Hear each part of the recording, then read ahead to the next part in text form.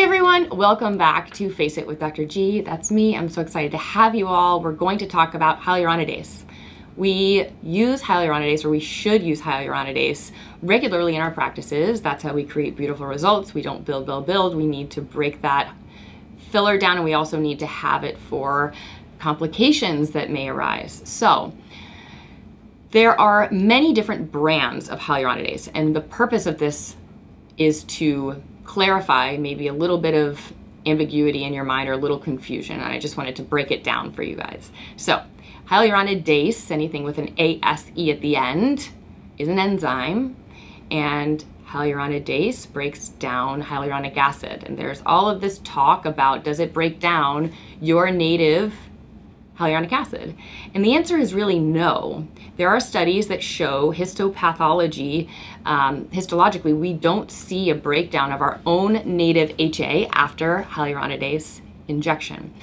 Some may disagree, and if there is a perceived decrease in volume by the patient, that hyaluronic acid will be replenished within about a week. So it's important to just prepare your patients, let them know that if there is a perceived decrease, it'll come back. Fine, great, no worries at all. So hyaluronidase is really used mostly on off-label indications at this point.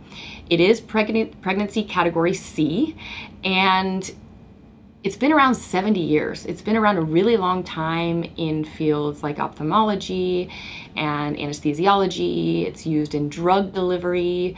Uh, so it's been used widely. And it's important that our patients know it's been widely tested and we are very familiar with it. There have, to this date, arguably, been no cases of anaphylaxis that have been reported or published in the literature.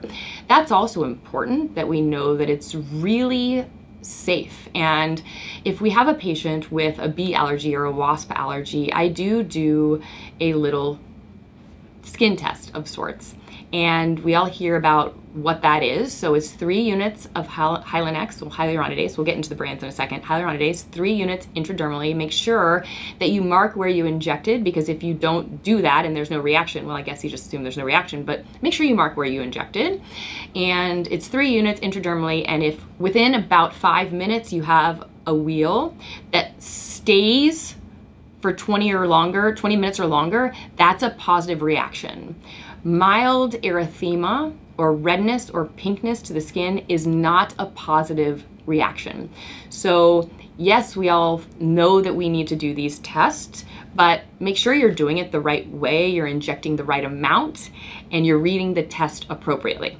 So now let's talk about the different types of hyaluronidase, which includes the different brands and their origin. So you can have human recombinant, or you can have animal origin.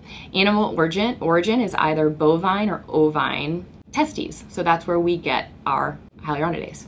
Human recombinant is what we use mostly in the United States, and the brand is Hylenex. And the storage is typically between 2 to 8 degrees Celsius, so keep it in the refrigerator. Animal origin, so we have the ovine origin, and that is Vitrase and that is also stored at 2 to 8 degrees Celsius. Bovine testicular origin, there's three different brand names. You have Hyalase, Hyalase, and Amphadase. Both Hyalase and Hyalase need to be reconstituted. Hyalase is stored at room temperature. Hydase is stored at the 2 to 8 degrees Celsius like the others. Hyalase is only off, um, offered in the UK. And then we have amphadase, which is also uh, 2 to 8 degrees Celsius. So in the United States, as I mentioned, we use Hylenex the most. Some places do use Vitrase, but I find human recombinant is the best way to go. So how quickly does hyaluronidase work? And it really depends. It depends on is this product in the patient's tissues? Is it complicated? Are there nodules? Uh, how long has it been there? What type of hyaluronic acid gel is this? Is it extra cross-linked, Vycross technology, not Vicross technology? What layer is this in, right? So it really depends. But in general, 0.3 milliliters of, of hyaluronic acid dermal filler, or 0.3 cc's, when given and injected with 30 units of hyaluronidase, takes approximately 30 minutes to break down. And that's important to understand because historically we have believed, okay, we'll inject with hyaluronidase and we'll wait come back in a week or two weeks until we see how everything is broken down and dissolved, see if we need to do another treatment or not. Now we're really understanding that it happens much quicker. And you can still have practices. I still see my patients back in a week, but it is possible to dissolve and then inject that same day. So, when I mentioned that different products take maybe a longer amount of time to dissolve. That is true. And I encourage you in your practices to get a petri dish and inject or deposit a bunch of different dermal fillers on a, a plate or whatnot and use Hylenex and watch it. Watch what happens. See for yourself the rate of breakdown of different types of hyaluronic acid gels. It's very interesting. So now on to how do we inject hyaluronidase? Do we use a needle? Do we use cannula? Do we use ultrasound? Do we just blindly flood the area? We are still evolving as a medical field and medical specialty, and it's so fascinating to see what is happening. I am a huge proponent of ultrasound.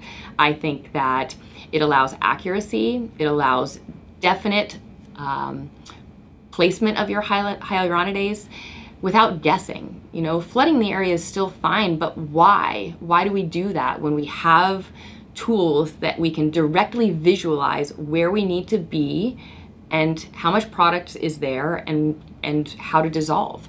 I think it's super important. I think it makes it more effective for your patients. It's more effective treatment. You're not just injecting blindly.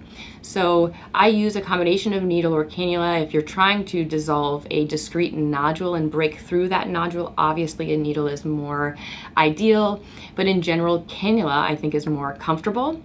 And that brings me to, does it burn? Does Hylenex burn? And I don't think that the pure product, specifically Hylenex I'm speaking about because that's what I use in my practice, I don't think it burns, but some patients think it does. And the addition of lidocaine, I believe, can also make it a little bit more stingy, even though the the later onset of effect is that you become a little bit numb, but lidocaine can sting.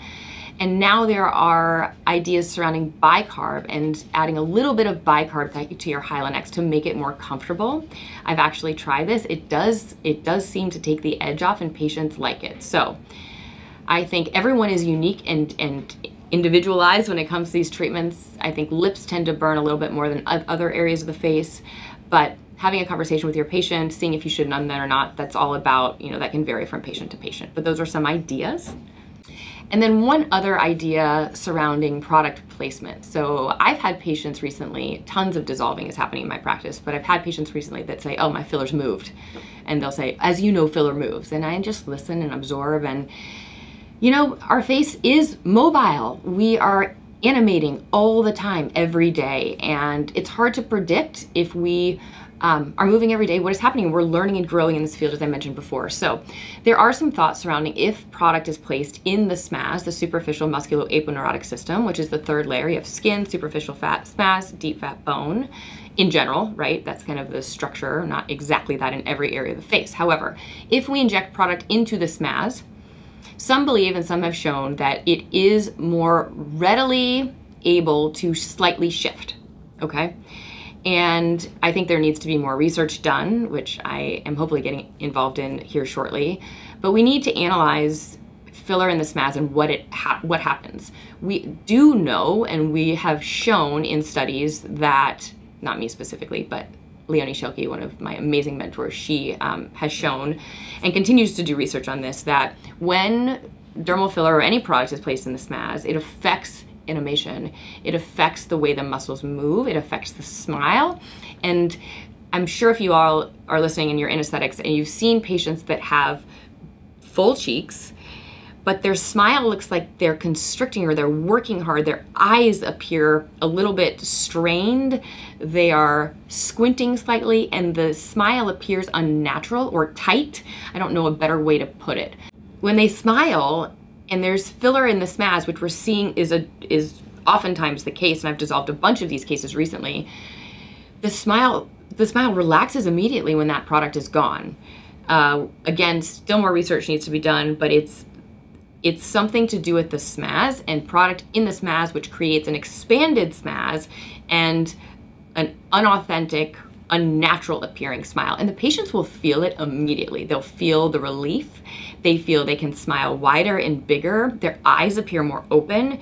It's very fascinating to watch and see. So hopefully I'll be able to add on to this in the future. I hope you guys learned something from this. Hyaluronidase should be in all of your practices if you're aesthetic providers, at least 24 vials at all times. Check the expiration dates and also get an ultrasound if you guys are interested in trainings. I offer them here. I also know so many other amazing providers around the world that do training, so reach out, let me know. And thank you for listening on YouTube. Hit subscribe if you haven't. Like, comment, let me say hi to me, whatever you want to do. I can't wait to see you guys next time.